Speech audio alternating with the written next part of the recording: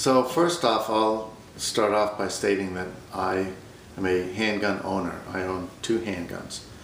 Um, what makes the story interesting about the woman who shot uh, intruders is that it doesn't happen very often. It's very unlikely to happen.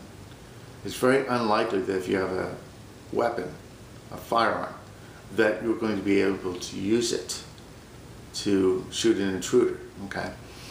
Um, what's more likely to happen, and what doesn't seem to be newsworthy, is the fact that if you have a loaded gun in your house, that it's far more likely that uh, someone is going to discover it and discharge it accidentally, or that someone who knows where it is is going to use it when they're unable to control their temper for some reason. Um, there are far more gun deaths that are accidents and crimes of passion than there are crimes prevented by having handguns, okay?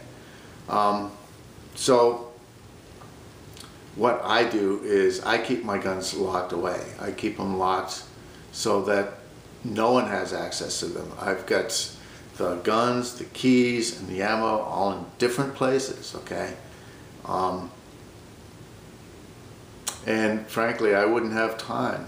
I wouldn't have time to collect everything I would need in order to get a loaded gun if I needed it in that kind of situation. But there are other alternatives. You can flee. You can flee your house. I've got multiple doors. I'll flee. If someone enters the house, I'll flee. Okay? There's nothing in this house that's worth risking my life over. Okay? So, um, if you want to stop crime, the best way is to install a security camera. If you get a security camera in your house and hide it somewhere, if someone intrudes in your house, whether you're there or not, you've got them on camera, okay?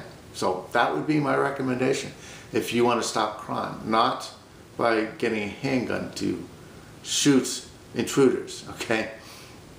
There's more that can go wrong with that and if you do have an intruder, if you get them on video, then the police can act on it, okay? It's actionable intelligence. So that would be my advice. Um, if you're doing it for self-defense, if you're doing it for to prevent crime, get a security camera, all right? If you're a sportsman and you enjoy shooting, get a gun, but keep it locked away and keep it safe. So. That's all I'm going to say. Thanks for watching.